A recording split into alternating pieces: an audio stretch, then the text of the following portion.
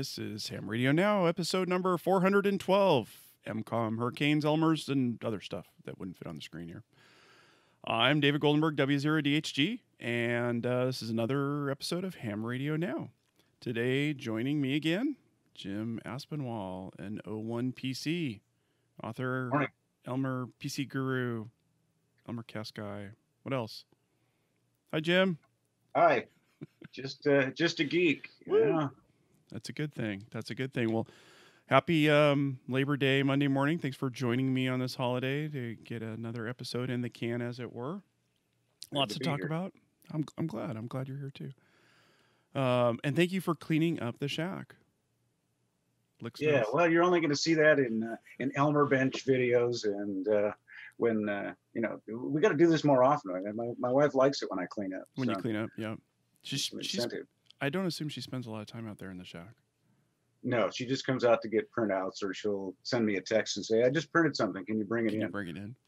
Excellent, excellent. Well, yeah, and we do need to do this more. I, for sure, I need to be doing this more. I, I looked at the last date. And I want to bring up that it was February that I recorded something. Although I did record something last week that I'm editing, so there'll be an episode follow up from this shortly, maybe even today. So something.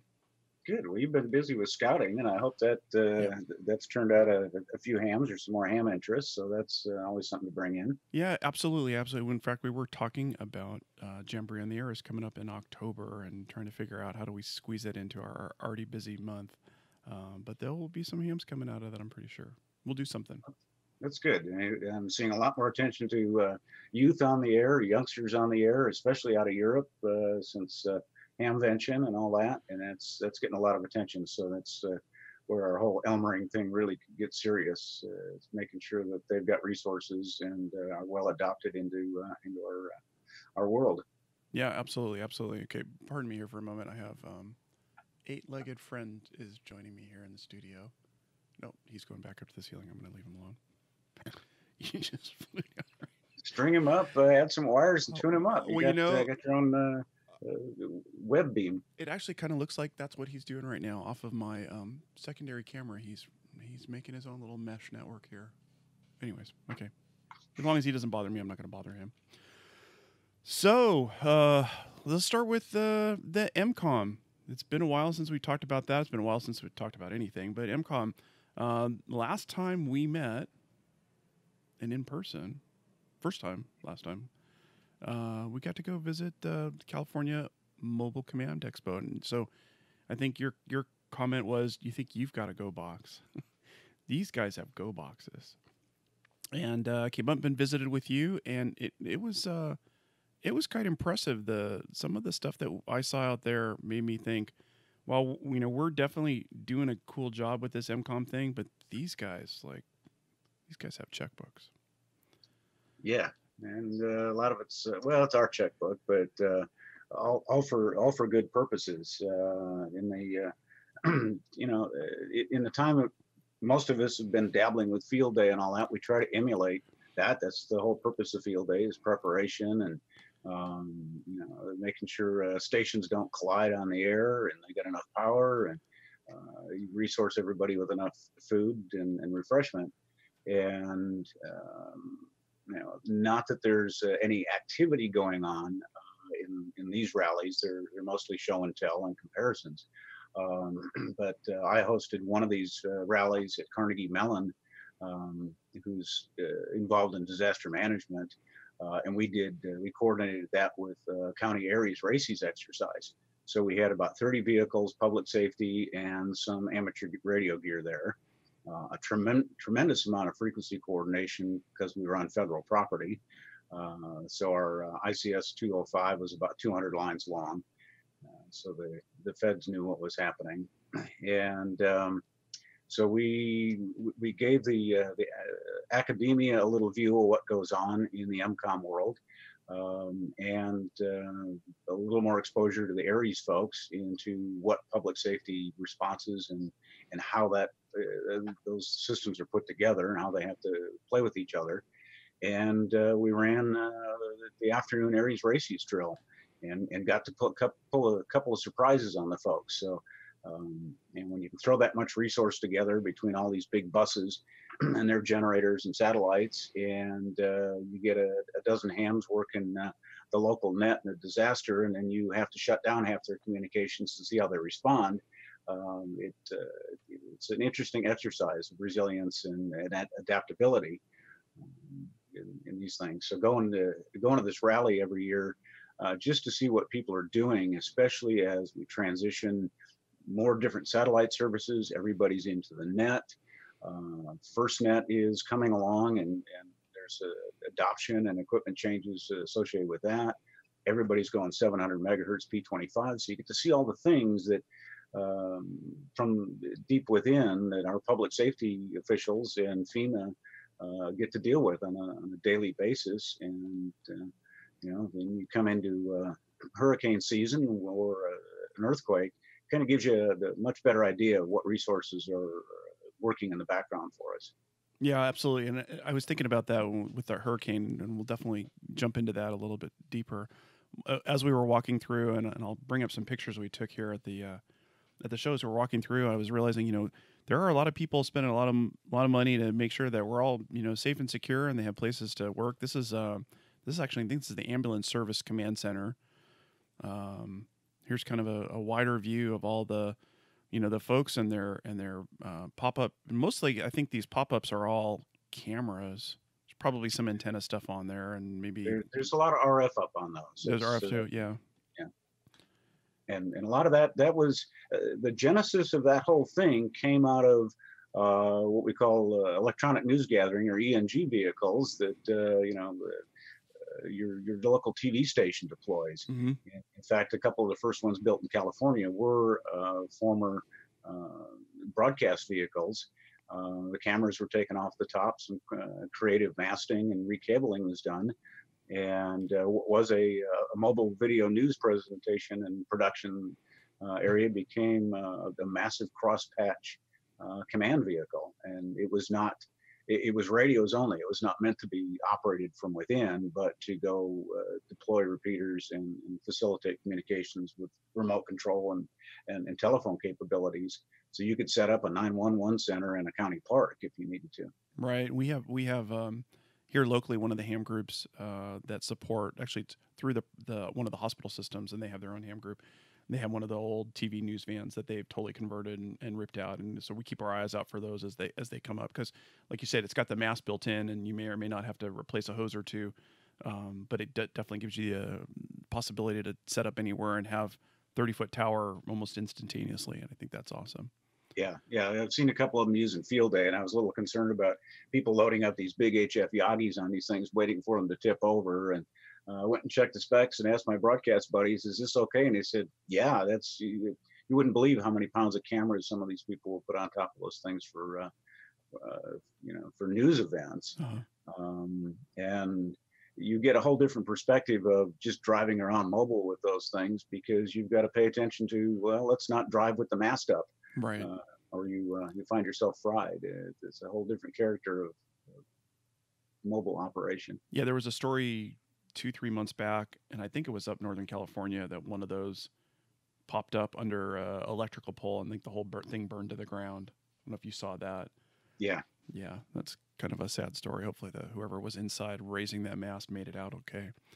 Um, but there are a lot of you know a lot of equipment. They got these you know they got big trucks and they got little trucks, and I think that little truck came in the big truck, and um, you know medical support. They had everything. This is the California Highway Patrol um, and I didn't get any pictures inside of this, but this was quite an impressive. You know, two full rooms with a I don't know, they had three or four full full size racks in the middle with phone patch and network patch and all those things. You could have uh, two good sized meetings going on in there, or a meeting and a whole net control on the other side.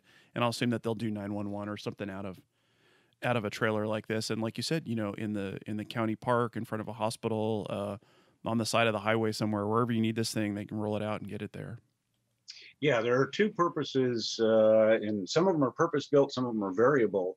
Um, and i know in, in a lot of the big fire incidents um, vehicles like that are set up as 911 local 911 dispatch centers there are actually uh, there's a classification of dispatcher uh, for field deployment uh, rather than just uh, you know being in the 911 center conventionally.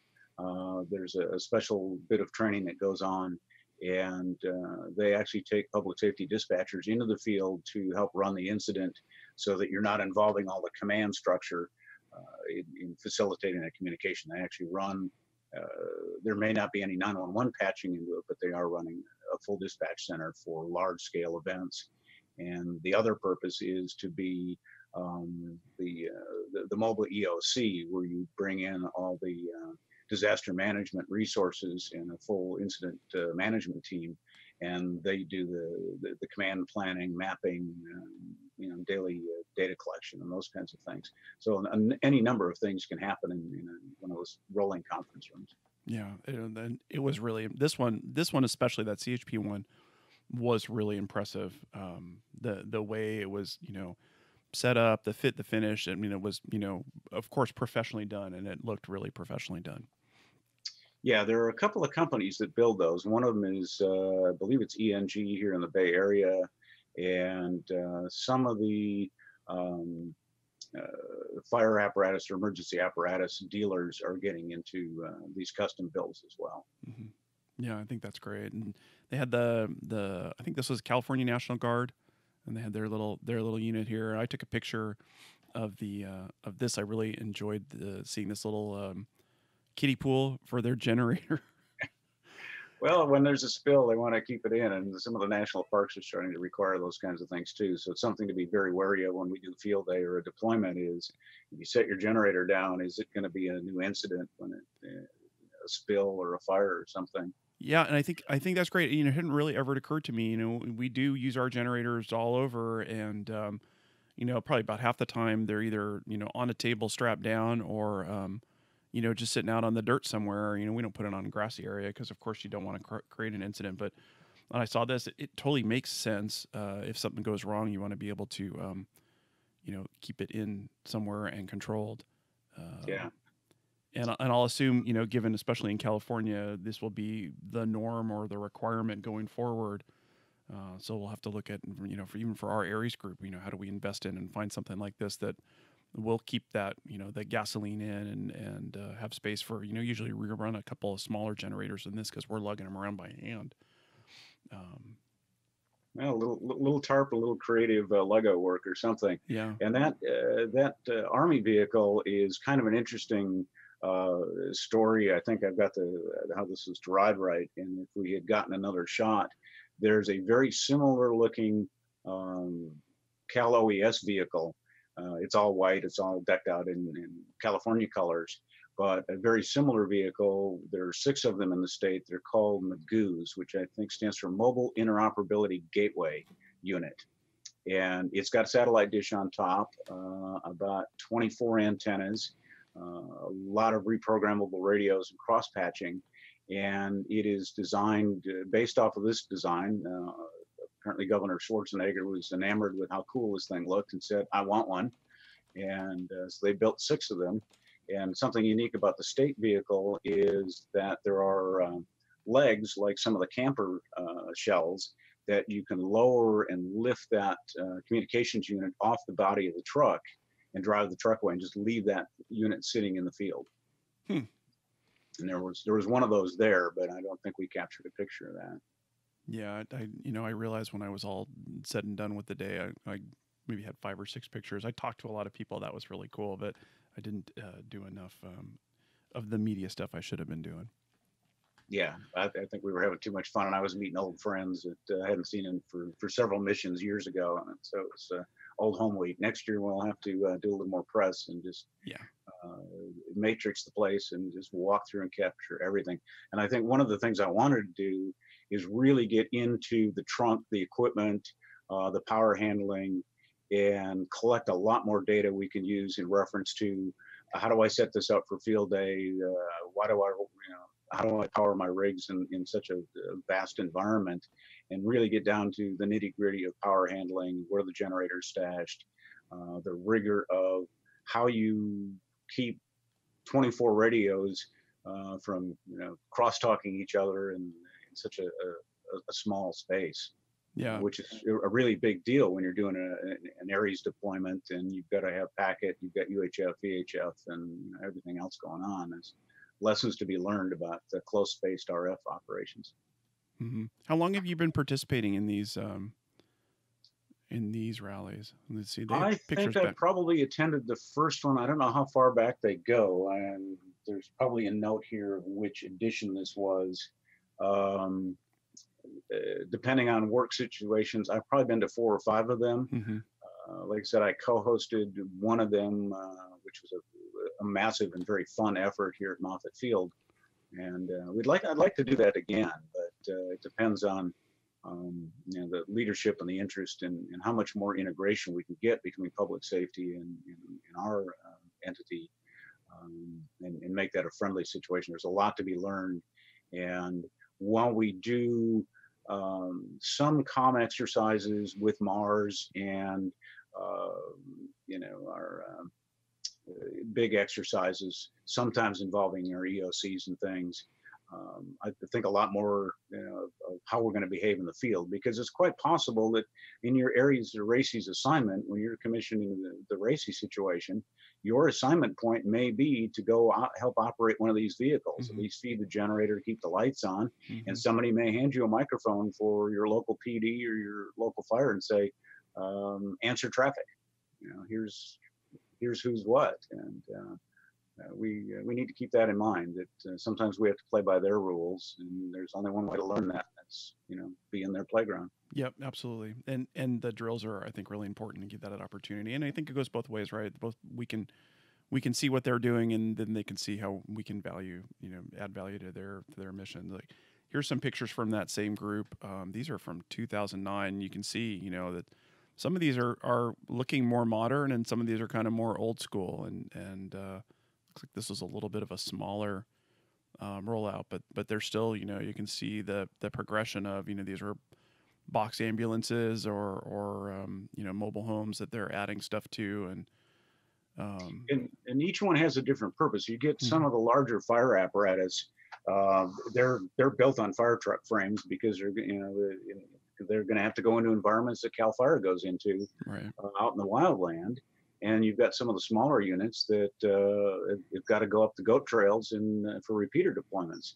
Um, what would have been really interesting is to uh, look at some of the portable repeaters and talk to some of the crews that actually, you know, sh- schlep them up to a mountaintop on a helicopter and do a drop, uh, which is quite frequent in uh, in large scale operations. I know uh, Yosemite National Park deploys several repeaters by helicopter at the opening of the season, and hopefully they remember where they are and go get them back at the end of the season. right. Right. This is very cool.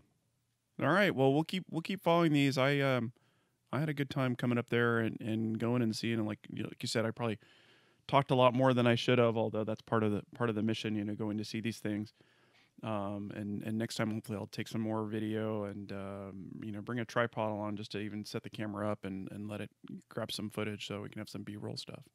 Yeah, well, we, we tried to pack a lot into a couple of days. Unfortunately, we didn't get uh, as technical in radio sites as we did in, in some of this, but uh, it, it was a good intro to. Uh, now we have the uh, the after action report that says this is a continuous improvement project. Uh, you know, things. Let's uh, let's do this again better next year. Yeah, absolutely, absolutely. And it was definitely it was definitely worth a while to do that and to, to see this. And it was interesting to see. You know, it, it was probably you know ninety percent um, you know first responders, professionals, but there were there were ham groups there um, that are you know either tied to those organizations or, or separate supporting the mission and that was nice to see. You don't always see that here in, in southern california area where they're uh, playing as well together or that the equipment that those folks had looked as modern. There was um, one of the groups I think it was county of san mateo? Maybe one of the one of the groups i spent a whole bunch of time talking to. Those guys had a really nice you know well finished setup um, they had really good um, uh, good equipment in there. They did really great training. I got, some information about the the way that they do the training for their volunteers. Um, you know, all the way up through um, you know bringing them on um, as you know kind of official volunteers and through the department. You know, so you're covered under workers' comp and all those other things. But um, really good programs we saw, and, and hopefully in the coming years, I will bring you more information about that. Or we'll bring you more information about that. Yeah, San Mateo County is uh, very well resourced. They were um, this region's recipient of one of those MIGU uh, trucks. Uh, I took delivery of it, prepped it, did the documentation, and, and handed them the keys uh, at the, the official ceremony and said, uh, There you go, take care of my baby. And um, they are unique in um, much of the state in that they do bring in their amateur radio resources as reserve um, uh, employees in the state. We used to call it the unpaid professionals. Mm-hmm. Uh, they are fully vetted and trained in all of the uh, the county gear, uh, as well as the amateur radio stuff. And uh, we've got a tremendous repeater system that they've built up to cover because they've got to go everywhere from the bay uh, in the peninsula over to the ocean side and there's a, a, lot of big rock in the middle. So they've got some significant challenges that cover everything from 800 megahertz all the way down to HF um, in, in, their uh, in their realms, mm-hmm. and they've got some very very well skilled people involved in that group. Yeah, and I think that's one of the one of the areas that our our ARES group, our our um, DEC is really moving us forward in those directions. We've added um, some commercial gear um, that support you know our first responders in our area to our um, our trailer, and we're starting to put in um, a rack with a VoIP system and doing more mesh and being able to interconnect a little bit more. And, and I see in the next year we're really going to have um, one of those more state of the art kind of deployments. It's not just amateur radio anymore. We're really starting to integrate into the served agencies that we're working with. And I think that's a big bonus. Well, it's, it's all about data, and uh, mm-hmm. most of the people we find in, in, getting involved in the hobby come more from the, the, the gadget device, uh, computing, uh, microwave data situation than they do uh, radio, and so it's a, it's a chance to pull them into radio and chance for more of us to learn networking on, on that scale as well. So good integration. Yeah, it's interesting. You know, I started on the IT side too, and, and in radio, and then now we're kind of going back the other way to a certain extent. You know, the AREDN and the and the VoIP and the tying it all together. We're still playing on the amateur radio side, but we're getting back into the you know technology, networking, and like you said, all those things. And I think it's a good combination. Hopefully, uh, hopefully it will all work out. And I'm looking forward to bringing more stuff about that. So um, I was thinking about my go bags and my go box and all the stuff uh, related to that as we see this thing bearing down on the east coast dorian. And i'm not exactly sure where it is. I didn't really spend a whole lot of time looking at the news this morning. I know that um, i think they said the bahamas were hit pretty hard. And um, and now we're starting to watch you know east coast to see where where it's all going to land and you know i i have a bunch of bags here and i have some boxes of equipment that uh, that I can roll out and stuff in my truck.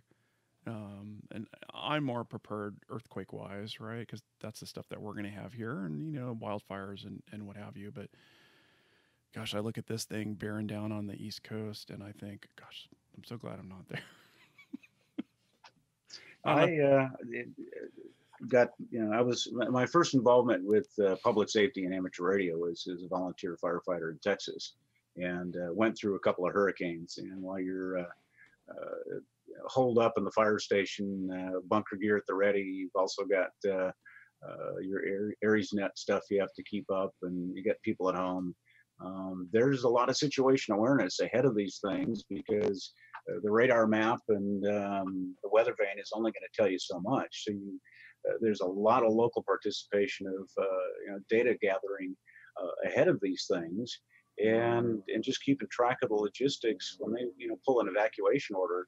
Just you got to imagine the, the, the, resources that have to come into play and things align right and you know, hopefully everybody will stay sane as they try to get out of town. Mm-hmm. and this is stuff that doesn't belong to the national weather service or uh, your normal public safety realm. So we we get to play a, very, a, a big part of that uh, data gathering and situation awareness as things happen because uh, you know satellite radar is not going to tell you whether your street's flooded or not. You've got to you know, it's boots on the ground kind of thing. Yeah, and it's it. a mess. It's uh, you know we, we have it lucky out here aside from well, whatever we have to do when you're going into a fire situation. But you know just imagine keeping all your gear dry. You know you're in a monsoon wind, right. and uh, most of our stuff is not uh, you know IP67 uh, underwater rated. So it's a lot of challenges in those environments. Yeah, absolutely. I know. I know some of the groups here, even um, some of the uh, urban search and rescue folks, were activated uh, when Florida called its, you know, its official disaster declaration a couple days ago. And then I've heard some of them have had to stand down because now they're saying Florida's not going to get it, and and Georgia and the Carolinas haven't really officially called that yet. And and so that's probably a whole other dance of you know how do you get there? How do you get people deployed? What do you do? Oh wait, hold on, because there's nothing happening now maybe the next state will do it, but they have to declare their their disaster thing. Um, God, so many mo- moving pieces in all of this, and you know, how do you how do you step up and how do you get deployed? And I'm sure there's lots of ARES groups down there, and and you know the first responders that are all you know either standing by right now or like you said trying to keep their equipment dry and and ready to go. Well, I know uh, the the state had a uh, a field team for comms that uh, that was at the ready, and they were all but on the airplane, mm-hmm. and, and, Florida called off. Right. And um, uh, I noted about the same time that Florida announced they were sending their USAR task force, um, you know, offshore. I'm thinking, wouldn't you need them there? Why, why doesn't another task force from another state go uh, go off you know, out of country right. and uh, keep the Florida boys where uh, where they are? But you know, there's it's a whole mystery of who's staged and ready to do what uh, on the back end. Uh, and uh, just kind of you know, read the tea leaves of what's going to happen. Um, whether or not the other states have declared, and you, uh, you sort of get into a Katrina situation where you, everybody knew Katrina was coming into New Orleans. It was it was just uh, somewhere was going to get hit, and that whole lowlands and the Gulf area out there is vulnerable no matter where the main strike is. And um, it was very interesting to watch uh, at, at, that time that Red Cross, FEMA, and a whole bunch of people were staged, ready to do something, waiting for uh, for the mayor and the governor to declare and, and bring those resources in. And uh, you know, there there are limitations that the Red Cross could go in on on the ask of uh, you know medical or church or Salvation Army uh, you know kinds of requests, but FEMA had to stand down and, and wait for things to happen. And, and you're always in that mode until there's a declaration that says, yeah, come on in and coordinate with us. Right. So, well, that, that goes to that, you know, 70, it used to be 72 hours, right? Now you say you got to be ready for a week, right? And I think that's the tam- time it takes to ramp those folks up because they need to have that, that real thing going. I, I, I don't know, looking, looking at this map to me, I don't know, I kind of still think Florida's in play. Yeah. It, it well, of... Uh, they're they're still they are talking. There's there's a couple of local you know uh, local folks. There's some very small towns uh, along that coastline that don't have the resources uh, of their county. Mm-hmm. Well, certainly not locally uh, of their whole county, and the states uh, got other things. So. you know, you're a town of 15,000 people. Your best thing is just to get out of Dodge and, yeah. Um, let the water rise because there's you know, the chances of getting resources to uh, to do something in these cases is pretty slim. They're they're all going to focus on, on other things, and if you're trying to figure if you're trying to follow landfall of that, uh, then you've got your whole army of responders who's who's also got to get up there while everybody else is you know, um, uh, evacuating. Right. Yeah, I wouldn't. Yeah, I mean, it's got to be really difficult. Sure, the maybe one side of the highway going in is is empty-ish, but you still got to get there. You know, how do you get on the ground and how do you get there? And then how do you take care of the folks that are you know either needed to leave or are leaving that that have had problems along the way? And it's a whole it's a whole, big uh, swath almost you know three quarters of the state there. Looks like it could be hit. And I, uh, do you go west or do you go north? Or almost looks like some of them could have gone south that's going to miss them. But there's a whole lot in play there. And then you get into Georgia and you know I guess by the Carolinas that's Thursday probably will mostly have died down but again you never you never know how it goes right? It's been growing and growing and growing. Well and yeah and we we wonder um, now um, everybody's been posting about the hurricane nets and uh, you know standby to handle traffic and and and the likes of that. And uh, some people are wondering well why are there so many different nets for different areas and wh- why on all, all on different bands well you know we're we're in the in, in the realm where the, uh, the, the season for amateur radio coverage is just as variable as this hurricane, and you never know if uh, 40 or 80 is going to be open in and out of one place. Um, you know, these guys are going to need a lot of uh, communications coverage just for health and welfare traffic. Mm-hmm. Um, yeah, Red Cross has got some of its own resources. Uh, Salvation Army, of course, does. But uh, you know, it, it, it's good for a lot of us out out of area to pay attention. You know, we we uh, might be in the favorable coverage area for 20 or 40 at some point in time when they when they need something. And so we're it's not just our go bag in, in our sunny little California garden. Um, we may be the extension of somebody's go bag in, in the middle of Georgia if this thing gets uh, wet enough, and depending on how the bands uh, respond. Right, absolutely, and and it is so variable right now. You hear, you see people complaining about you know this band's bad and this band's bad, and some of it's you know time of day and weather and all those other things. But it, that is a great point. You know where you know one band may make it further out. Um, we may be valuable here in California for those bands that are going to reach us, right? That are just Yeah. going to skip over the you know it's going to skip over the guys in Georgia listening, the other side of Florida, and what have you. And it may be it may be necessary to have a bunch of them spun up, and then gosh, how do you coordinate all that? Right. Good net control. These Yeah. guys have got it down. But even, but even so, even outside of like you know, if somebody's running a 20 meter net, somebody's reading a 40 meter net, somebody's reading 80 meter net, those people are going to be all spread out across just just the way propagation works. Um, how do you coordinate all that stuff together? And maybe it's just a whole bunch of little islands doing their thing, and you know, like you said, passing their health and welfare. or I guess once you get into an area have the internet connection, you can feed into some of the online systems that are collecting all that data. But how do you get it all coordinated? Would be a good good question. That's it. Uh, I think from a couple of nets that have got uh, multiple net controls, uh, I sense that they're online, you know, on some forum, some some chat facility, uh, coordinating in the background between net control. And if you're going to be a big enough operation, you you know you've got uh, you've got the operator, you've got the logger who's uh, passing this data back and forth. Uh, so there is a, a central point to bring all this together Mhm. it's something uh, you know I'm not familiar with, but I gotta believe that's the only way you're going to do it because you almost need a net for the net managers Right. to, bring all this data together. right and in some in some database somewhere to like you said to tie it all together that's you know not just amateur radio based but that somebody all across the country can get to which brings me to and and i and i pull this up and i will apologize james ahead of time i asked you if i could show this but i'm going to show it anyways. This is a locally um, created tool set that we're starting to work on. Um, it, it's simple right now but it has a lot of um, potential i see going forward. Um, somebody put together you know communications log and there's a whole database system to um, capture our logs and, and be able to save them out. And um, some of the other uh, forums uh, that we use here in southern california area of course this is created locally here but over time i can see it growing into having other tools available our our uh, MCI and uh, HSA, the hospital status forms. So mostly we work with hospitals, but you get you know all the standard areas, event log, messaging, some resource request forms. Again, that's kind of our Southern California based stuff, radiogram forms. Tying these things together so you can get to these from uh, some kind of internet based tool um, is how I see it going and could be a valuable resource in, in this kind of situation because I could get to it here, somebody could get to it in Georgia, Texas, whatever, and be able to log all this data together so somebody has a, a better picture of the of the big um, the big issue at hand.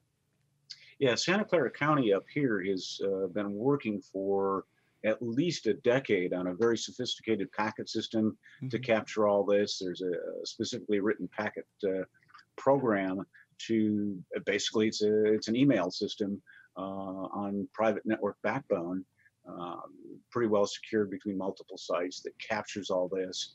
And they're doing a lot more data work to integrate all the IS forms uh, into this. So all message traffic is on, uh, I believe it's 213, and everybody knows from one end to the other, whether you're a packet station in the field or you're at the EOC, um, all these messages are indexed, uh, very, uh, very well structured so that uh, almost anybody can pick up a, a message form, get something crafted, and either deliver it verbally or by packet very efficiently and effectively, and bring that all into a central point. Um, one of the things that strikes me is, um, you know, how do you, uh, how do we nationally, or how do we expand that into a national format that is uh, something that can be shared and used and easily implemented by other people? Um, you know, basically our own version of Web EOC, if you will. uh, to some extent tailored for the the kinds of people and traffic we'd likely handle. So I'm I, I leave that challenge to other people to address. We we know it can be done. Uh, you know, we know that there are incident command systems and things like WebEOC out there, and the state system used to be called RIMS uh, for resource management, and FEMA's got that for you know, hey, I need a tanker truck of diesel fuel, or I need you know 4,000 MREs. So it, it's possible to build those things. How much sharing of best practice goes on in the amateur radio community is, is a big question. And I would put that out there for people to kind of reach out and go, uh, uh, how do we do this? So it's going to be consistent across platforms, events, uh, locations, and resources. Right, absolutely. I could see that as version, you know, 3.0, 4.0 of the ARES Connect, right? So you're getting, they're starting with getting all the people in so that there's at least a place for people to go and and and have a connection to the organization and then i could see over time you know getting the forms in there getting some interconnectivity so that everybody can get in there and see gosh here's the status of this event and here's the traffic that's coming through and here's the resource requests that we need and here's all the other stuff um, just so we have you know not even a place that's just a repository but a, like a communication hub and i know some people out there are going to say well but it's not amateur radio but but it is because it is tying it all together and and it's providing the resources that the amateur radio operators can use to you know expand the footprint and the service that we provide to the community. Well, the one thing we have to remember too is that we've got a tremendous amount of spectrum. We own the air interface for whatever needs to get across it. Yeah. And uh, there's there's certainly a place for the data people um, in this uh, as as well as the you know the the radio people to uh, to figure out what where the essential part of this is. I mean, it doesn't matter uh, whether you're doing uh, you know packet or uh, teletype message on 20 meters or sideband on 20 meters. You're on 20 meters. You have to know the mm-hmm. RF environment to get that stuff across. Mm-hmm. Um, and the one thing that everybody needs to be cognizant of, and, and they are as they build these systems, is what is the potential you're going to have uh, personally identifiable information, or you may be asked to pass traffic uh, of a medical nature. You've got HIPAA. Uh, so the system's got to be secure, which is count, you know, uh, contradictory to amateur radio. Right. Um, you know, so the first thing you got to say is, unless I own the the encryption and the security of that system, nothing gets through it that is questionable, which which prevents us from being useful you know, fully useful in some environments uh, because that's a large part of public safety and disaster management is who are the victims and, and what's the situation. And public safety in a lot of cases can't uh, can't handle that. Uh, but that's where FirstNet is going to be uh, the litmus paper for for that. Is now a lot of this stuff we've been working on in amateur radio between packet and and even things like FT8 and, and getting data out of no place into some place. Um, FirstNet is probably going to present uh, some real opportunities for uh, the, the data and on-air interface for us to pay attention to. Uh, it's real easy for us to, uh, as, as device and gadget freaks with our cell phones and pads and laptops and Wi-Fi, um, to ignore that all of that stuff uh, has got an air interface. There's RF back there, mm-hmm. and uh, we we have to, you know, from from an amateur radio perspective and bringing in new people, yeah, the the, the digits and the you know the styluses and the gadgets are really fun, but uh, that stuff doesn't work unless you understand the radio behind it, and keep that functioning too. So we we we still have a big ownership in, uh, in responsibility in in, uh, in in radio and whatever part of this, however the traffic goes across it. Yep, and and uh, and I hear a lot about these gadgets that people have and if you talk to a lot of the the first responders that we're starting to interface with more and more that's the first thing they're going to tell you what do, what do I want to have working in this disaster environment it's this. I want this to work. And and I want this to get my email and I want to be able to send messages and I want to get a phone call and I want and and we're starting to build towards that. I think a lot of the AREDN stuff that we're starting to look at will provide an interface and a backbone for that. And we actually we're actually getting to the point where soon enough we'll be able to hand out those kinds of devices that are pre-programmed to work on our, our interface using you know mm. using our our PBX that we put together that will bridge out somewhere if we get a connection to a landline. So we can hand you know that incident commander or maybe further down the the food chain a you know cheap android device or a repurposed you know older iphone that has um, VoIP software and internet connectivity and even a you know simple e- email interface, give it to them so that they have the things that they need, or go hit their device and say, hey, you're now you're on our private Wi-Fi that's hidden, and you know you know mostly secure. And I know there's a lot of debate when this when this whole like you know encryption, security, HIPAA stuff comes up. You know, in the amateur radio world, we're not allowed to encrypt, and we're not allowed to do this, and we're not allowed to do that. But um, you know, I don't want to start that debate. That will be a future yeah. episode. well, and we have the we sort of have the the flip side is as well. Um, of wouldn't it be nice if we had a an amateur radio packet phone that mm-hmm. does all that stuff? And we're doing that now with tablets and briefcases and yep. and HTs in, uh, in, in the Go bag. Um, uh, but yeah, there's there's uh, and and some of that traffic uh, can we legally pass it encrypted or otherwise on the uh, AREDN network, mm-hmm. uh, you know, as, as a surrogate for public safety. And that's where uh, we have to go back and revisit the whole commissioning of RACES for the, the, the pure intent of RACES and, you know, drop the ARES part out of it when you get it, get into the RACES environment and, you know, you are so tasked.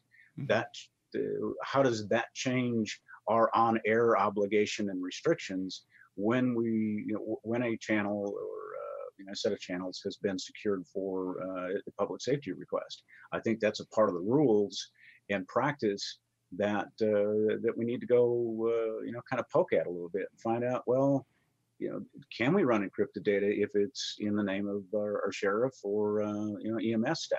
Right, and I, and I know at least in our area, I don't think anybody's looking at that or thinking about it. I know it's there and it's in the background, and there are some smaller groups around and some folks plugged into that. But I think in the in the bigger picture world, you know, I look at our ARES group, we're not we're not looking at that at that level, that interconnectivity with the RACES groups or even MARS or some of those other other possibilities that have that ability to say, hey, we're tied in, there's a disaster, something's declared. Now you can use these other tools that you can't use just as a standard amateur radio operator and I and I assume in in uh, places large as I am, Los Angeles County, if we're not doing that, there's probably a lot of little other served smaller communities that either aren't looking at it or are like light years ahead of where we're at because it's so necessary and critical for for their missions. You know, we get in we get into local debates here um, around the HIPAA stuff. If if somebody gives me information and has PII in it, but it has to go for you know life safety, you know, my understanding is just go with it, right? and you pick up the pieces later on. And then there's other people that'll say, "Oh no, you can't send that personal information over the air." It's like, okay, can you or can't you? right? Yeah. This is this is like the Baofeng conversation, and that's another episode I want to do too. Can you use your Baofeng as an amateur radio operator, or can't you? And the other question is, should you? Right? Should you rely on that thirty dollar, you know, CCC piece of equipment if it's really mission critical, like something that would be in support of this, right? Should you be out there, you know, in the field relying on that radio if the message that you need to get through, you know, related to this hurricane or the next earthquake or fire on that, you know, potentially compromised piece of equipment? You know, and, and I mean compromised in, ter- in terms of quality, not on somebody's listening to us or, or whatever. Yeah, that's well, and there's there's a reason because of the air interface of some of these pieces of equipment. Uh, you know that, that they're not allowed in public safety, whether or not they're Part 90 or 95 or mm-hmm. whatever certified anyway. Right. Uh, it's like, hey, we can't risk it. There are you know there are actual lives here with yep. you know using real radios that. Uh, you know, we just we just can't suffer the hit if one of those things goes, uh, you know, it goes low power and goes, you know, totally spurious. You mess up a whole fire camp. Right, exactly. It's just it's a it's a risk management thing. It's not even the arrogance of my radio is better than yours. Um, my life is all life is important, and you mm-hmm. just got to throw away all your technical uh, things. Right. Yeah. yeah. But if somebody needs you in a life safety situation, um, they uh, they may either hand you the stuff they want you to use, or they may set the requirement that if you're going to fly out from California to Florida uh, don't bring this, this, or that. You know, mm-hmm. here's here's what you're going to be required when you meet the COML, and uh, you know you're not going to be deployable uh, if you don't have uh, qualifying radio. Right. So you know those, and that's very valid stuff. It hasn't even got got anything to do with your budget or, or whatever else. It's um, you know, professionals are uh, somewhat in control of, uh, of what they're asking you to do. Absolutely. But, Absolutely. Yeah, yeah, a lot of a lot of compelling stuff about how you know uh, where amateur radio can really fill in, and can we all wrap our heads around a mission versus a hobby? And, and, and really get into this. Some groups can, and some, you know, got, got a little ways to go. And uh, you know, some, some of those places don't have disasters.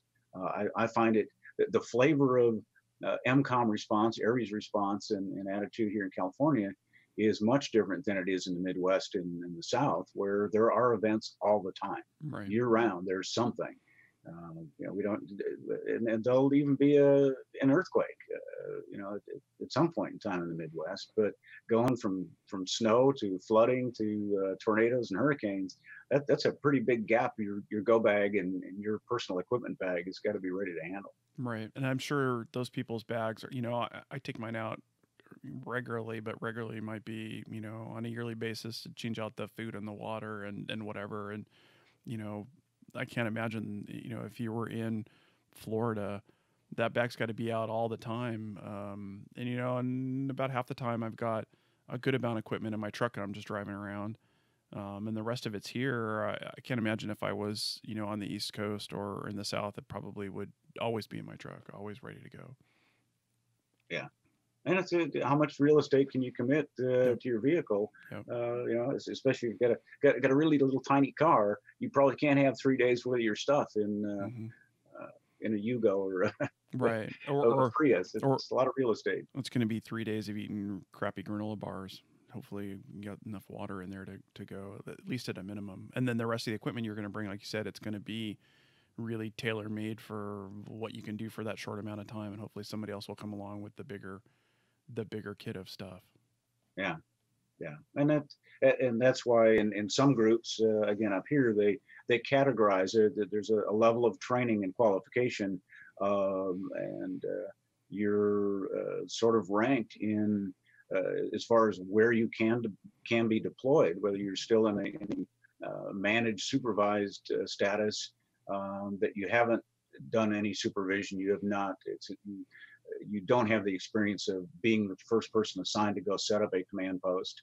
Um, you know, you can go tag along with somebody who's going to set one up, but if you have not done one, um, you know, we're not going to deploy you uh, to one of those places. So, you know, it's sort of like incentive licensing. If you want to be at the top of the heap and, uh, uh, you know, be your own deployment uh, station, um, there's some hoops to, to jump through, some, some required training and uh, yeah a lot of us uh, without training when we were 16 17 would show up with a battery and an ht and a, an antenna and go okay i'm here what do i do?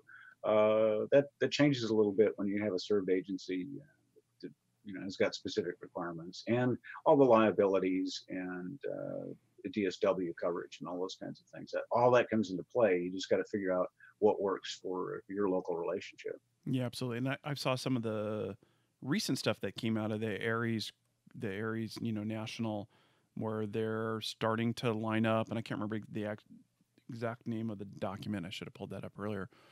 Um, where they have the kind of the tiered training, you know, at the level one, you've done this, you got your license, and you're, you know, going to a meeting every quarter, and then at the level two, you know, you've got your ICS, your four basic ICS classes, and then level three, you're getting into more, you know, the quote unquote management stuff. I like to see, I like the where that's going. How do you implement that? That's kind of some of the stuff that I saw at the um, Command Expo, like County of San Mateo had for their volunteers. You know, you start with this, you have to have this minimal level of training before we're even letting you in the door, or you have to agree that in the first, you know, six month period of time, you're going to be partnered up with a, you know, an experienced guy while you're getting through that training. That that's that's the great model. As you know, um, amateurs that are volunteering to do the emergency service stuff, right? If you're just a ham and you want to be a ham in the hobby, great, have fun. That's a good thing. But if you want to step up and volunteer, you know, to serve the community, having that kind of runway on, you know, you start here, you grow into this, and then eventually, you know, management with the paycheck or not without the paycheck. I'm just kidding. Right, and and you've that's happens when you uh, when you're a Proby fireman and you're in the academy mm-hmm. to uh, you know to other things. Um, I think uh, what there's there's two a couple of aspects to this. There is what we find out on the public safety side when you're dealing with volunteers and you're you're either the new volunteer or you're in charge of the volunteer suddenly because you were the smart guy who didn't step back and, when they asked. Mm-hmm. Um, and so there's uh, the likes of San Mateo County, which is exemplary because you're fully integrated into the sheriff's department at, at that level, uh, to other groups that um, you're not part of the county structure. You are a bolt-on um, ARES group, more or less. Um, and then you've got what the ARRL is trying to do. And I know there's a lot of controversy. We don't want to go down this rat hole too much, mm-hmm. but th- there are two sides of this. The public safety um, side of the, the situation uh, needs to kind of look outside of their realm to other communicators. You see a lot of stuff, the Cajun Navy and their use of Zello was very, very, very important uh, in the last great hurricane to hit the Gulf. Um, and those people, no training whatsoever in communications, ran a full on public safety net to go rescue people. Uh, that was just quite impressive. I listened to that for days and just wondered who was behind all of this because just they just knew what to do, and there was no nonsense there. Um, you know, why why can't more ham groups be that disciplined, just forming up and saying we have a mission? Uh, so uh, back to a couple of things. Public safety uh, from the FEMA, DHS, COML, COMT, what we know uh, available to us is the AUXCOMM class is a very critical basis, a foundation that can be built on for credentialing at that level. And I think more of that could be done in the public safety realm, be it through APCO or some other trade uh, industry group on the public safety side, as well. Um, uh, the ARRL has got to come out of its bubble and realize that it's not just amateur radio recognition that you're delivering to. The A, I don't know how the ARRL can write a set of criteria for responders without without any familiarization, exposure to, uh, or coordination with public safety on what that response is going to be. Mm-hmm. Uh, so, uh, great, you're uh, you're an ARRL member. Um, you've taken the IS classes, which don't have anything to do with what your job is going to be. Um, there's some criteria, you're a tech, you've got CW, whatever. All of that doesn't mean anything um, in terms of an official partner served agency response. Um, they want training, they want discipline, they want a sense of mission, responsibility, accountability to things. Uh, not something some guys out on the East Coast said, okay, uh, you know, you you're under the supervision of somebody who was elected your local, you know, SEC or whatever. Uh, there has to be some body, some substance behind what ARRL is going to pull off, um, if there if that's going to be recognized. Otherwise, we're going to continue to have um, pockets of uh, various levels of San Mateo County's in-depth involvement, Santa Clara County's, um, you know, a step away on the other side of the wall involvement, or whatever ad hoc thing comes up in, you know, Wichita. So it, it's, a, it's a national organization of amateur radio folks in this country want to be that participant. Uh, they need to reach across the aisle uh, to public safety and probably go back to DHS and talk to those people who invented uh, uh the AUXCOMM class and explore that much better um, as far as you know what do we as amateur radio need to deliver into your realm? And what will your realm do to help us be adopted into it? And that i don't see that partnership. I don't see that dialogue happening. I've not seen that dialogue since i've been an amateur radio operator and i, I really hope it comes about. Well you know what? I wonder on on the you know, when we talk about this a lot of times we talk about this on the national scale how do you make this happen right and and i think ARES connect was kind of getting us to at least having a registry of who out there is willing to say, "Hey, I will step up and help out." Right? I think that's the goal, right? And I've registered, and I'm an ARES person, and um, hopefully, I have this minimal level of, um, you know, I've taken these classes, as you pointed out, very little to do with what my job will be, more around understanding, um, you know, what's the bigger mission and how do you fit into way down here on the chain of command, right? In a, in an incident. Um, but that's just a registry and it doesn't give you the relationship with your public local public served agency and, and i can't get my head around how do we prepare you know look you're in campbell right and that's part of whatever county it is up there right and i'm in woodland hills part of los angeles county how does the national organization i don't really think they can or maybe it should get us to the point where we can coordinate so that I know when I go show up at uh, an incident and the Los Angeles County Sheriff's Department guy who's running this incident can figure out a way to plug me in and fit me in and and understand you know what my capabilities are and how does my training relate to his. Same way where you show up with you know the city of Campbell or the county of wherever you are to show up to their incident command center I don't know how it relates back to boots on the ground the proper training without being involved on that local level right? And i get i get would be ideal that the ARRL could get everything together enough so that at least there was a nationally recognized um, you know bar that we've all passed to say hey we're at least trained and maybe background checked and i don't know what else goes into that so that the membership that we have in the organization or the you know quote unquote credential to say hey you know I'm, I'm an EC or I'm a at least a trained ARES member so that someone who, who looks at that can see and respect and accept that oh yeah I could plug you in into my you know command structure to provide communication because you know that's what we're there for as a resource and not just another body that we're gonna have to feed and move around and keep out of the way and and hope that their Baofeng doesn't take the you know the whole command center down. Well, I think there's there's something to be drawn from the Red Cross Yeah. um, because they're credentialing their people, they're background checking, uh, somewhat out of necessity of the exposure to the public that you're you're thrust in um, in an organization like the Red Cross. So they've got some liability, they've got some exposure there, Mhm. and if you're working within their communication system, that's pretty well bounded set of requirements and familiarity. You go from one chapter to the other, you pretty much know you're going to be recording blood units or food trucks or whatever. Mhm. It's a contained uh, situation. It, it's much more difficult on a national level to do this credentialing. Um, I'm not even credentialed in my county, and I avoided it or was too busy with my state work. Um, uh, I was I, I was the state go-to person for our county. So they've kind of grandfathered me into some things, but I don't have the credentials to even respond to some things in, in, in our own local county group uh, because I haven't been through the classes, uh, having spent all that time, uh, you know, deploying satellite stuff. So it's it's kind of awkward. I'm you know I'm a senior person in the area. Mhm. Uh, I've done all these things, but because I have not checked all the boxes with all the sponsors in my in my local county, um, I'm not el- eligible to do for my county what I was doing statewide. Right. And it's that cross jurisdiction recognition that is the big thing.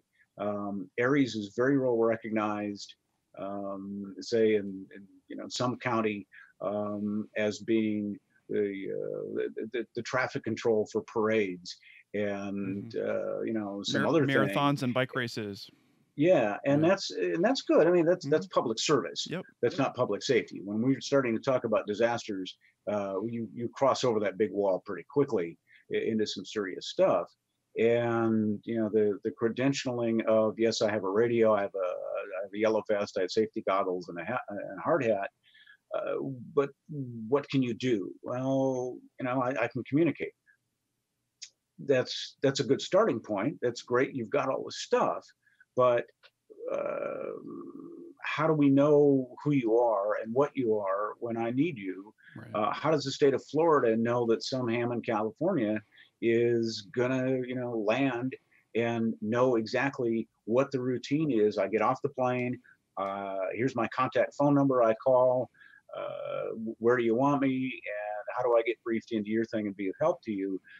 That kind of structure doesn't exist in anything that the ARRL has, has come up with. And I, I'm not sure that the ARRL understands the rigor, the responsibility, um, the burden.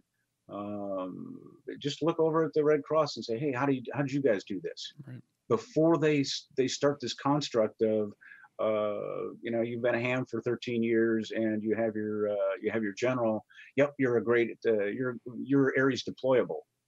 Um, do we know that you're not handicapped, may not have medical issues, yada, yada. You know, I've, I've got type two. Uh, I'm probably not the ideal person to deploy someplace, but by God, if you need me to set up satellite comms, you know, somebody's going to throw me on a C-130 with a rig, mm-hmm. uh, you know, and I just we'll we'll deal with it accordingly if, if, that's all you've got.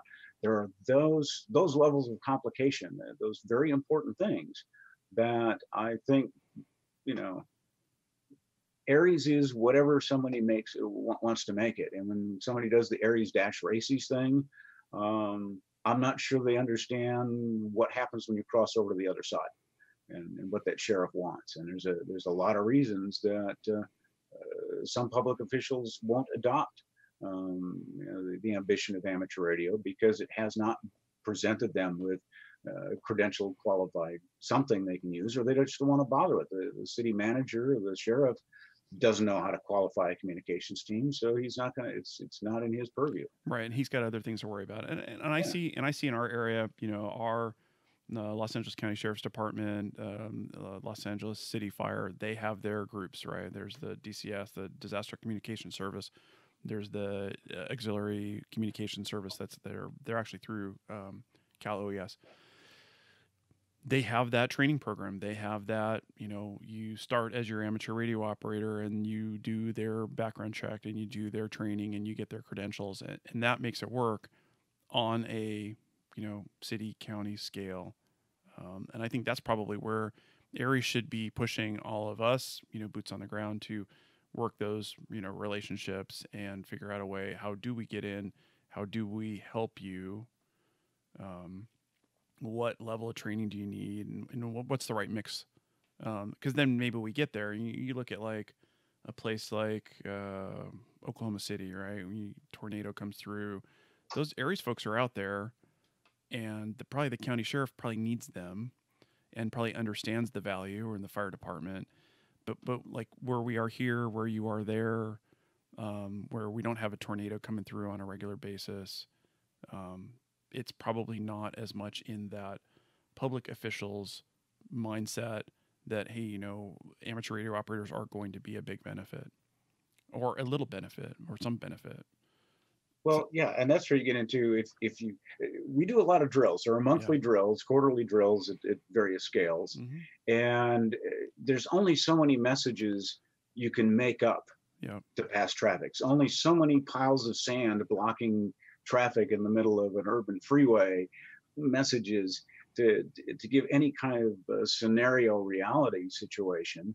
And um, I think another good parallel to to this is if you're on an incident management team, if you're um, you know a, a certified COMT or COML in the man- emergency management framework, um, it's pretty well understood that you know your uh, your daily job may be the radio officer for uh, Contra Costa County, mm-hmm. or you're the radio officer for the their fire district, but you're also a prime resource, uh, senior COMT or COML, um, and you may get that call that hey, there's a there's a forest fire, there's a wildland fire in Idaho.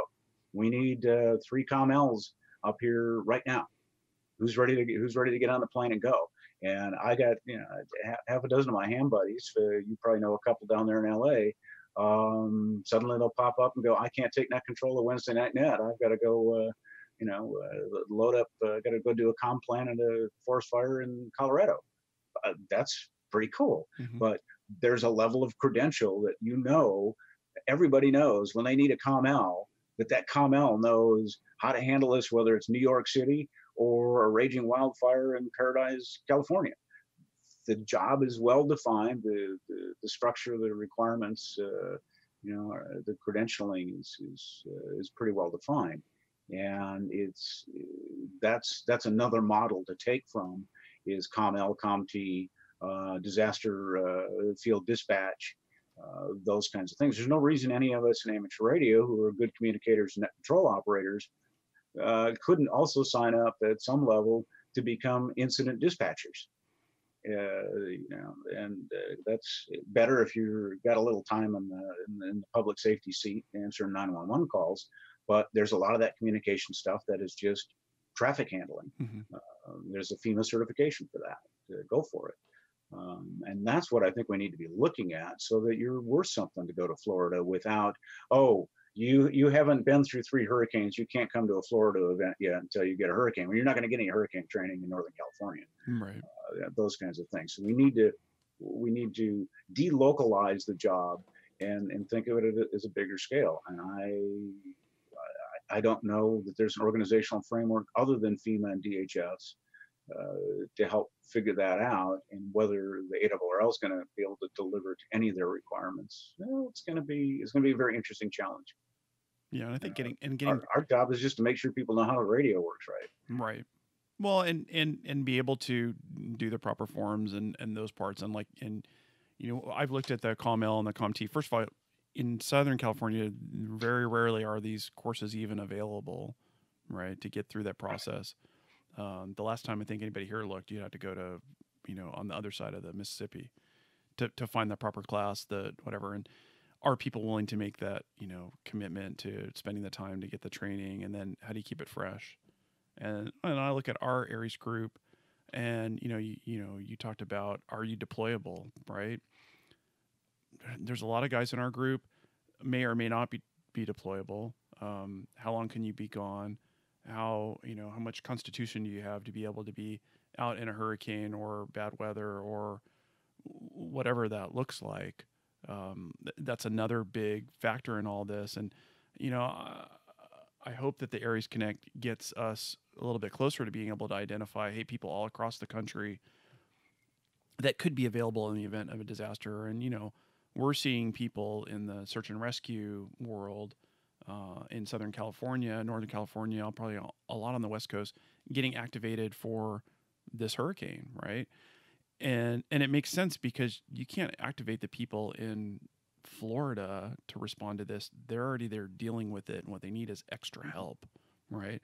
And and it's the same thing in the communication world. They we need to be able to figure out how do we bring in that extra help and get them trained and and so that they're valuable and um, there's so much digital going into the whole amateur radio thing. You know, I'm just starting to dabble in the AREDN thing, and um, it ties a lot of my IT career into the amateur radio stuff in a way that I never thought about when I got licensed 10 years ago. You know, I would be doing, um, you know, 2.4 or 5 gigahertz um, microwave type stuff over amateur radio. Wasn't even a thing that I even thought about 10 years ago, right?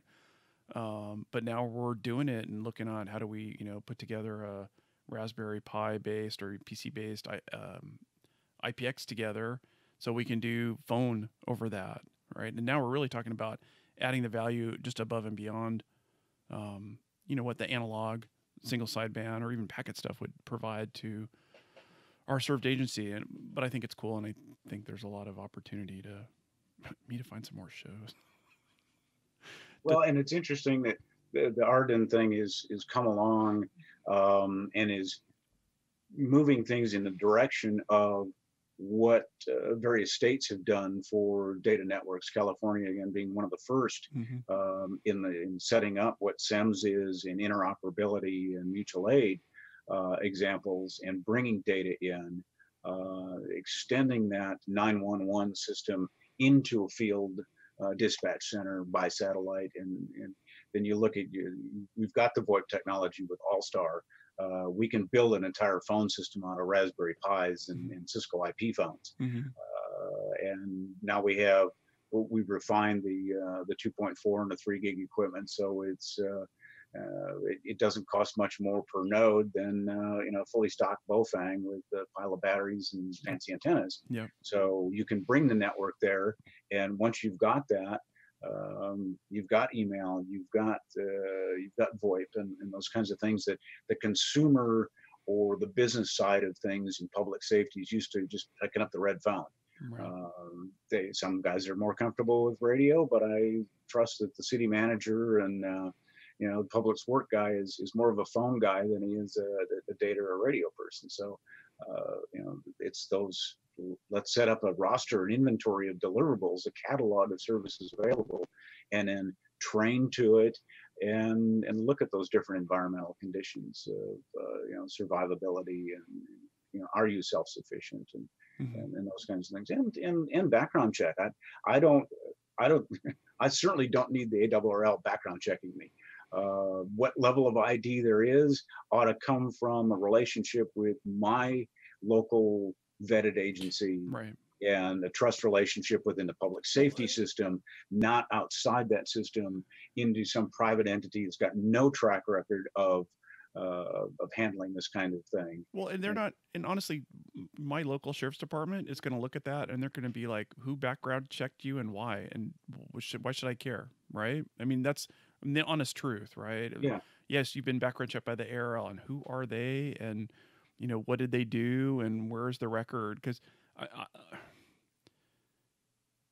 I'd like to see that at least all of our members have been vetted. I think that's an important thing because I don't want just anybody showing up. And, and I've seen that anybody that just shows up and n- not always a good thing. But um, but but to the point of if you go and you you know you're handing credentials to somebody who's running in, in an organization, they're, they're not going to care.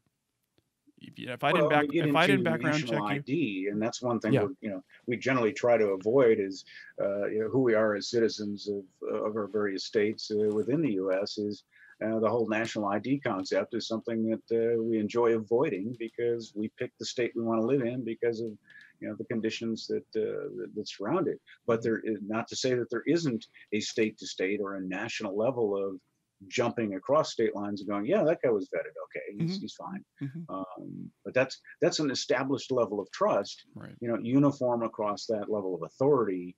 Uh, there's no sense. In, there's no reason to reinvent the wheel or try and, and create a different looking wheel. Mhm.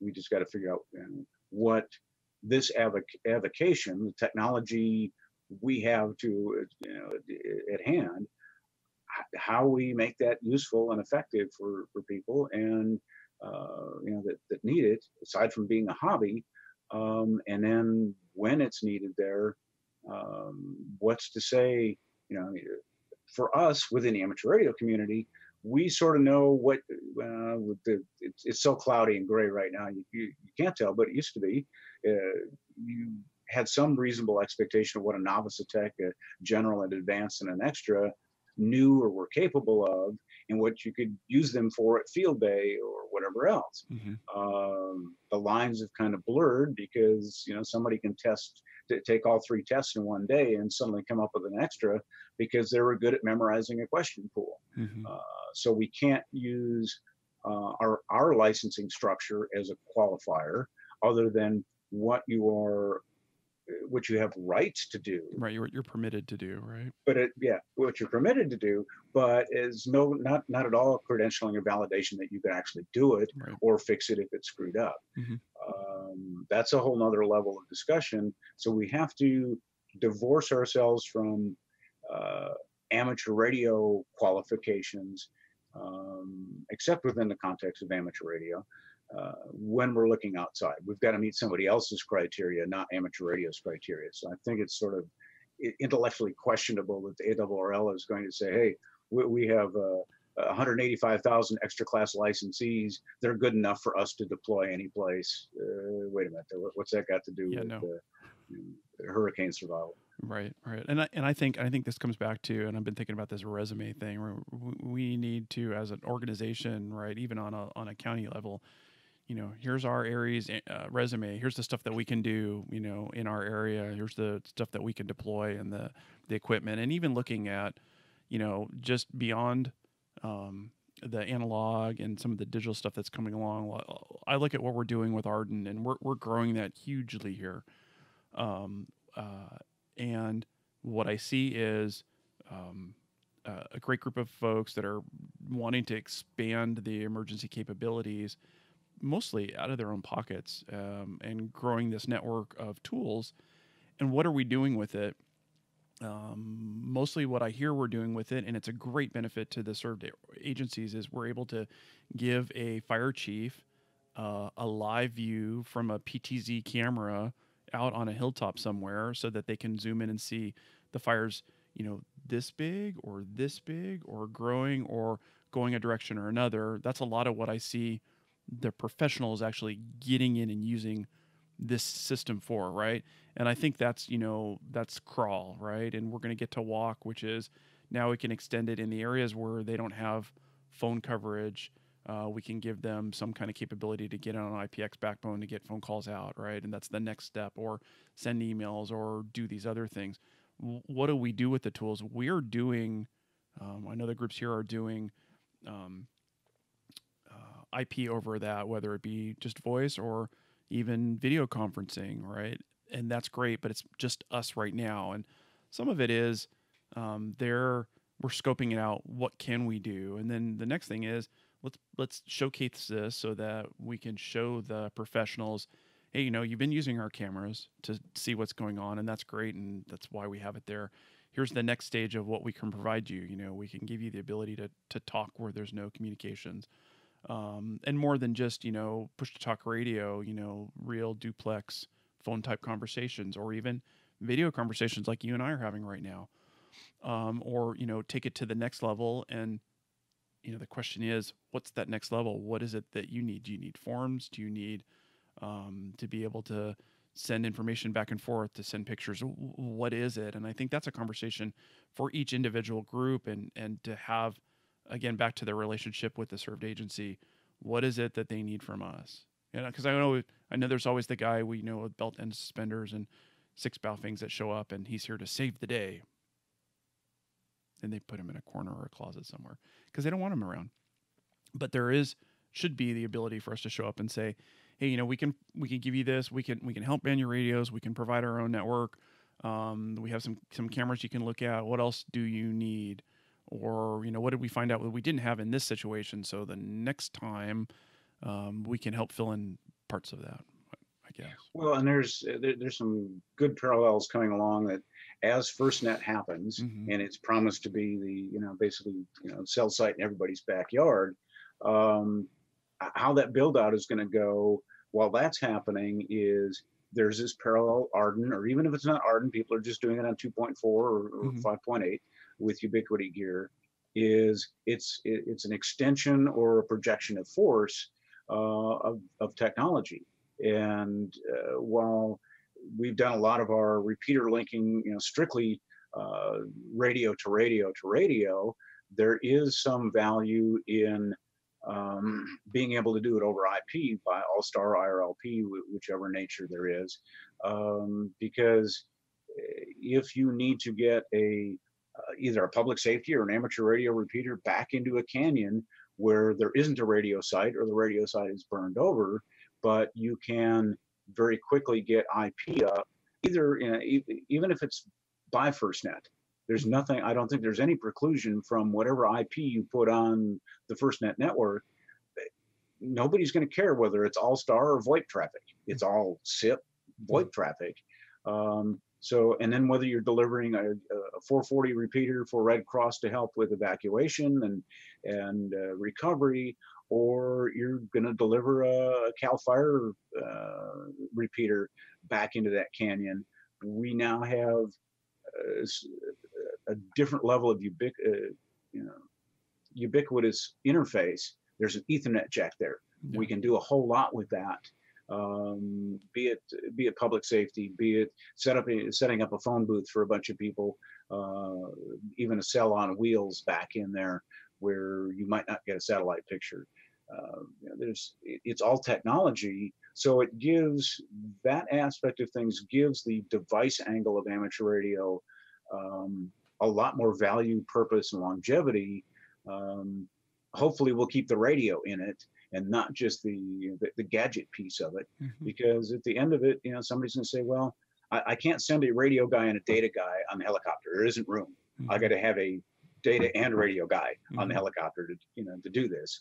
Um, you know, be that guy. You know, be that person that can you know can be of very very advanced broad spectrum value. Uh, which means you got to pay attention to technology, not just uh, your Wi-Fi passwords. Right, and we got to be teaching the kids this because some of us are getting older and going to want to do this for two. Every day there's a gap, and uh, that's that's why I'm you know I'm, I'm happy to see suddenly uh, you know youngsters on the air is just exploding in some parts of the world. I'm going, how do we capture that? You know, Yeah. that's that's something that um, you know we you- you're closer to it in scouts than I am as you know the you know 50 year tech veteran. Mhm. Um, how do I help? Uh, you know, do what you can and hope. Keep keep pushing this message that there is a radio there. You have to know something about radio if you're going to play radio. Yep, absolutely. And we got Jamboree on the air coming up next month, and hopefully we'll have an event here to share with you then. Cool. Well, I think this is a good show. I think we need to keep working on this. Um, any last thoughts? Anything else we missed? We didn't talk uh, about just, we didn't uh, talk about Elmer's. segue hint of uh, of Elmering and, Yeah. and, and being out there for uh, and accessible to folks. hmm Um, a, number of ideas are kind of coming along, uh, which are going to keep me busier. Uh, the Elmers group is about 4,700 members, exploded by about 200 in the last couple of weeks. I'm just, you know, amazed, and a lot of them are references from the Ham Radio Now page on Facebook.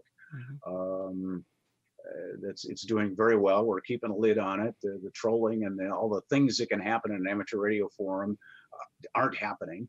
So it's a very happy place to be. Yeah. And um, uh, there are a couple of ideas that are stemming from it um, organically, locally. Here, we've got a gentleman um, in his local community down uh, about 20 miles south of me.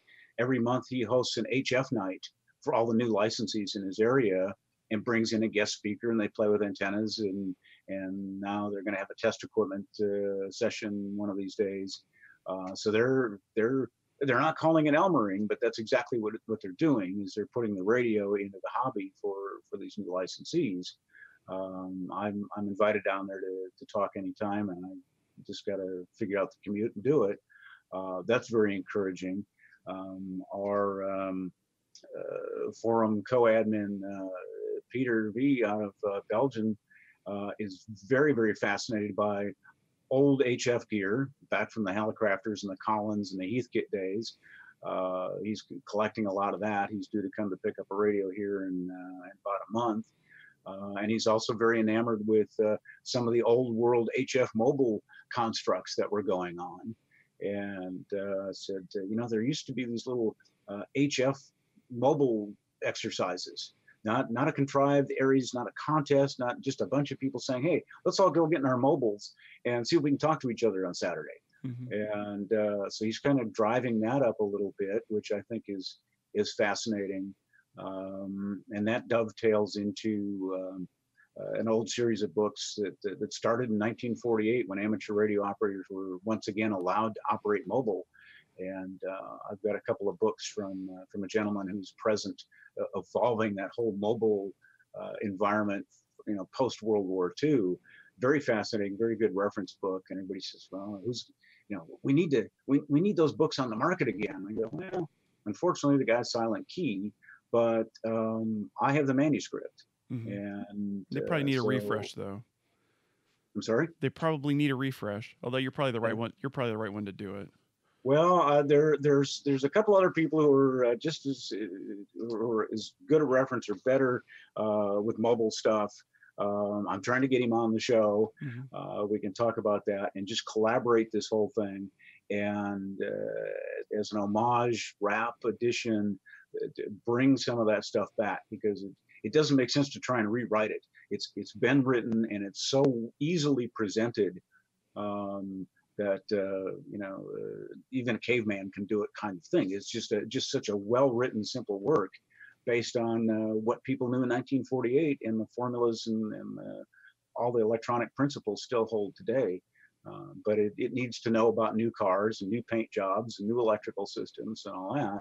And it's out there. So uh, any number of things just kind of keep evolving in the circle of people want to know this information very consistently. The information is out there. Um, let's let's keep it flowing in whichever way is fun. And I'm um, because of the mobile command stuff and everything else. I'm I'm uniquely in, interested and fascinated in this uh, bringing up a, a monthly or quarterly mobile let's get on hf exercise not as a contest not to score points but you know uh, get elmers and new people who want to get into hf say hey here's here's a known uh, exercise or uh, you know practice opportunity um, that you know there'll be 50 or 100 or 200 other people on mobile uh, on HF this Saturday morning at nine o'clock. Mhm. Let's just go play and learn and, and whatever we can troubleshoot from mobile A to mobile B and all that. I think that'd be you know a fun outing. Get me out of the house. Yep. yeah. You you have um HF in your in your little commuter? Just UHF VHF in the little commuter. Uh, in the in the daily driver, I don't have HF Yeah. um, because my commute's only 12 minutes. Right. Um, when I had a longer commute several years ago, most of my DX was racked up on the 4 to 4:30 commute on 20 meters mobile. Uh-huh. Um, you know, fully a third of my a third or more of my DX contacts in the log were, were done mobile in the afternoon, which is kind of fascinating. I've I've toyed with adding HF to the drive. I'm not I'm not quite there yet, but someday. Did you see the new uh, ICOM they announced yesterday, the day before? Seven oh five. Uh, yeah, I, I saw the, uh, Oh. the the announcement. Uh, didn't see on the whole spec sheet of the things. Yeah, I haven't seen a whole spec sheet, but I saw a little the little video. I think that's um, you know, I think they're going after the Elecraft market there. I think that was a uh, that was a cool little rig. We'll wait to see how it prices out. But but doing you know two meters, seventy centimeters, and six meters on all up into HF, that's um that's an attractive looking little device there. And you know, I think a lot of people. I saw some of the pictures in Facebook and comments, and people were whining about the whole oh 10 watts you know 10 watts with the bat big- battery pack 5 watts standard but you know in my mind this is going to be like the Elecraft thing where when they release it there's going to be a um, a 100 watt or at least a 50 watt maybe a 100 watt you know base station kind of package right? Mm. where and, and I don't want to call it an amplifier because I I wouldn't market it that way. I would you know have this the regular version and then the base unit version and that would be the way I'd market it. But um this is promising. I think that that thing looks cool and if if it's priced right enough that i might add hf to my to my daily driver. Well, it's it's interesting that you know uh, the, the the 706 was the coveted uh, you know multi coverage radio of its time. mm-hmm. Um, I had a, a Mark II that um, uh, had uh, VHF in it. I did not have the Mark II-G, and it was a great. Uh, I uh, I didn't say that. Great radio uh, because it, it performed very well. It sounded very well. It had chronic audio transmit audio problems that everybody knew about. You just couldn't get enough audio punch out of that radio. Um, I really enjoyed it, and uh, it, its receiver was was very very good.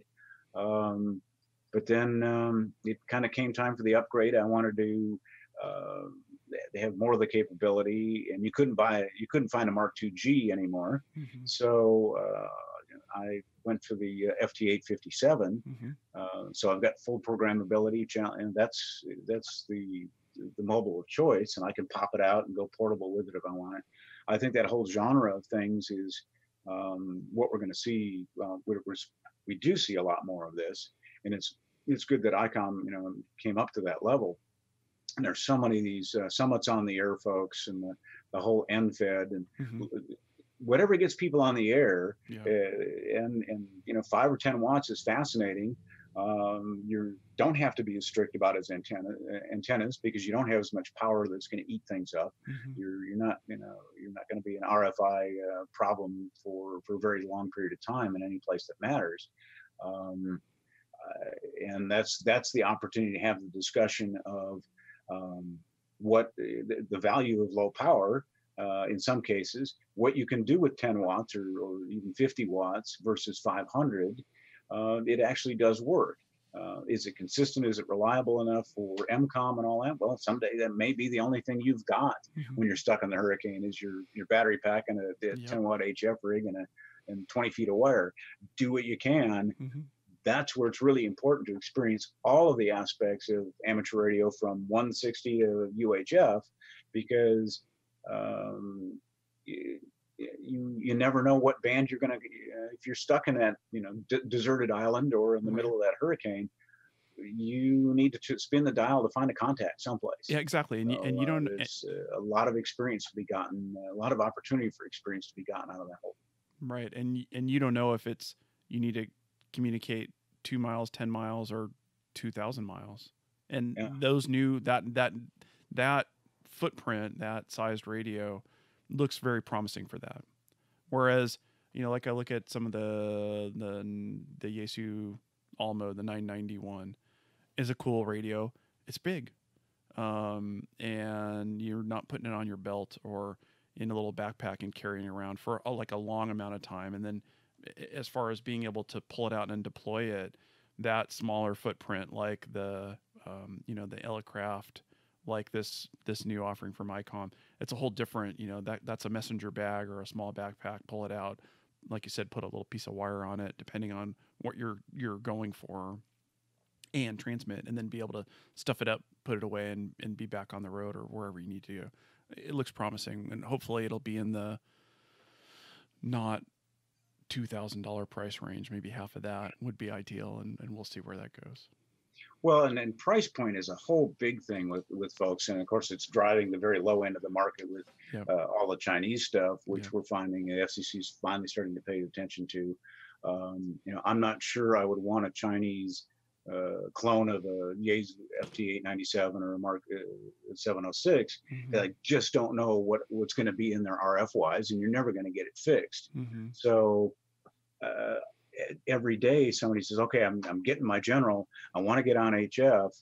What can I do not to break the bank Mhm. and still have a radio that some one of you guys is going to be able to help me with eventually? Mhm. I can't help you with a Chinese, you know, HF radio because you're never going to get the schematic. When it blows up, it's going to blow up. You're kind of, you know, so uh, one of the adages of a, good friend of mine is the price of quality only hurts once. Is get something that you you know that there's service and support for and a large user base to help you out. Um, now, is that a eight or nine hundred dollar price point? Um, you know, I think maybe we could call it five hundred dollars.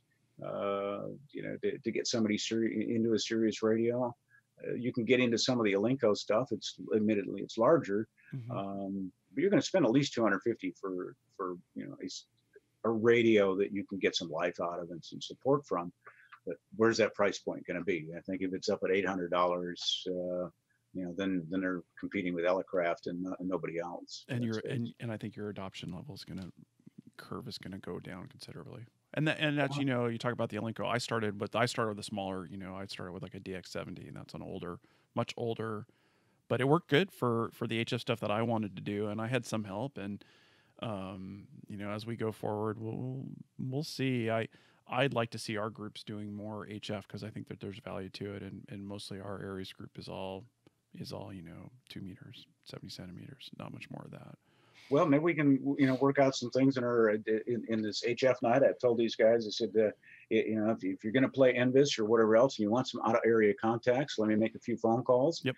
We'll we'll drum these things up. I think that, in, in a lot of ways, that's what one of my one of my jobs uh, uh, in in the realm of OES uh, in in RACES was to foster and bring HF, not just this VHF UHF stuff, but um, to to get the word out further about NVIS and interregional and intercity communications uh, when all those repeater sites go down, when you can't line a sight on two meters. And NVIS is a blast to play with. You, you you turn your radio on, you kind of go, everybody's full quieting. And it's 80 meters at, you know, eight o'clock at night, uh, or it's 80, it's- it's 40 meters at, you know, noon and everybody within 400 miles is full quieting because you've, you've taken advantage of uh, you know the little known trick of the atmosphere and um, it's it's kind of interesting so the, the the more of those kind of ideas that come about let's uh, you know Run with them. you know we'll, we'll see uh, whether uh, ham radio now or the, the elmer group or whatever let's just talk this up and get people out on the air and uh, we, we've got a community of folks Yep. we might as well uh, keep up with our community some way other than this one way hey i'm talking at you Yeah, kind of absolutely, absolutely. and we can uh, we could stream it you know we could do a show about it just put a camera on both our ends and Mhm. let the net go just like um, you know goes on at uh, last man standing Absolutely. Well, we actually have cameras on both ends. What I got to do is I got to um, I got to pipe radio output into my mixer board so I can hear it and share it with everybody else. But I'm pretty close to. I have I have the slot here. I just got to wire it up right, and I got to put an antenna up because I took it down to put in the uh, in the shed in the backyard. I'm almost done with that. And it'll be time to put something back up in the. There you go. Incentive. There we go. Absolutely. Cool. Well, hey Jim, thank you for spending your uh I wanted to say Sunday morning, but it's Monday morning with me. And uh I think we got some good stuff out of it, and I think we'll keep working towards it. Um anything you want to pitch? I should have brought Well, I think uh, we, we- we have our little checklist of uh, show things to, to work up. Um, we got to think of some more uh, bench situations. Yeah, Uh, I got to practice my uh, my camera and presentation there, so I don't uh, uh, don't go off camera with. See, I just soldered this, and look how wonderful it is. So Yeah. that's uh, that's something to get used to. Uh, different uh, different set of things. Uh, again, the Elmer's group is is getting a lot of traction. Yeah. Um, I'm just flabbergasted at uh, where the referrals are coming and the the also ran. So, uh, you know, if you look at the trending, we our ramp is just, is 46 climbing 4623 members right now and, and i think the what you said which was awesome about this group is and and i hope i don't ruin this the trolls are not here. And i think that's great. I think that's really um, that's unique about it and- not many other facebook groups that i'm a member of and those numbers are slowly declining because a lot of them are just pushing me away.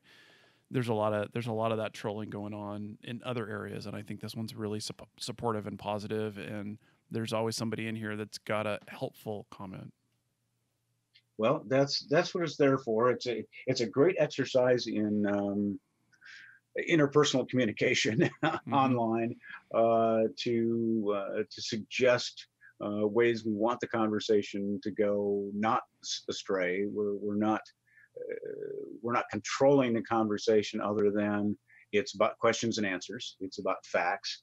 Um, it's not uh, unboxing and you know great radio purple display kinds of stuff Mhm. um, a lot of people have come in and said, you know, I've, I've sat here and I watched this group for a couple of weeks. I feel comfortable asking a question now because uh, the, the responses that come back out of this group are not like the, uh, you know, the, the, oh, well, you know, you're, you're, you're not a tech or you're not a general. Or you, uh, you shouldn't be asking that or you should know more. Um, it, it, we all started out from nothing in, in getting into this hobby. Nobody was born an extra at 80 words a minute. So, you know, uh, the questions can be as awkward as they they come. And uh, after 40 some years of troubleshooting things, you have to know what questions to ask back to qualify what somebody's going after. And um, and you have to read the whole thread. So a lot of those, those threads may only go for 10 or 15 comments because asked and answered. Asked, qualified, and answered Mhm. and there isn't much you can do you know with it afterwards. The the problem doing it on facebook is it doesn't index. It doesn't scale very well to maintain that as a library of um, you know of reference. But uh, lo- just like anything else there's always going to be a newbie the same question is going to get asked over and over and over and over and over and over again and you can't get tired of answering that same question over and over again because you've got a new person that's got a different uh, different way that they're coming at this stuff. So um, you know, it, it's factual. It's to bring stuff in. I screw up. I get the wrong answers. Walt or Peter or somebody else will come in from the side and go, uh, Jim, no, uh, the equation is actually this, or this antenna was actually designed in 1963, not 43. And you know, you've got to have your, you got to eat your own dog food. You got to you know take somebody else's Elmering once in a while too, and it's all good. It shows that we can have that dialogue Mhm. and it shows how some of the bad information we've been living with for 40 50 years came about and how you resolve it so it's uh, it's it's organic it's truly organic in, in how this comes and goes so uh, uh, it, it- there's going to be more there's got to be some more cross referencing um, i want to know what people want to want to figure out we've got uh, the guys over at ham radio workbench are doing the next level of uh, practical stuff on the bench we want to figure out a way that we can um, uh, unburden them of any uh, you know beginner questions and be a segue, you know, a gateway into their stuff. Um, so we'll see. It's it's it's it's a lot of fun. We can't quit now. Yeah, it's exciting, and I- and I and I like that you know from the audience, and I always ask too. You know, if there's something you want to see us cover, you know, let us know because I don't know. Um, you know, I'm going to cover the stuff that's interesting to me or that you know gets put in front of me. If you put something in front of me, I'll, if I can find a a way to cover it the right way, or we can put it into the Elmer's group and figure out the way to get it you know properly addressed. Send it our way, and we'll address it. Yeah. Cool. Well, It's it's all about the it's all about the exchange. Five nine and uh, good luck in the contest. and you know what? Even if it's not five nine, we're gonna try our hardest. Well, we'll still log you. Yeah, exactly. We'll still put you in there. you're logged in. Cool. Well, in. this was Ham Radio Now, episode number 412. EmComm, Hurricanes, Elmers, and other stuff. Uh, again, I'd like to thank you, Jim, for joining me and uh, stepping up to be a kind of a regular here with me.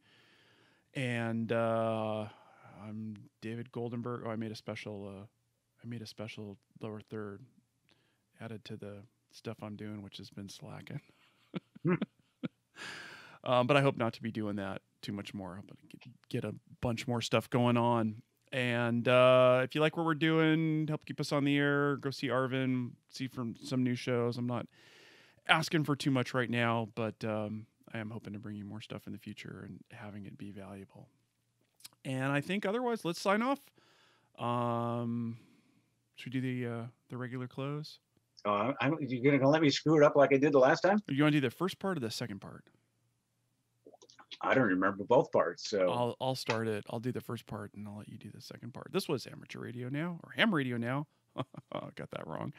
Episode 412 over and out. sweet. I'm supposed to do this thing now. I think I pushed this thing right. I think it worked. Cool.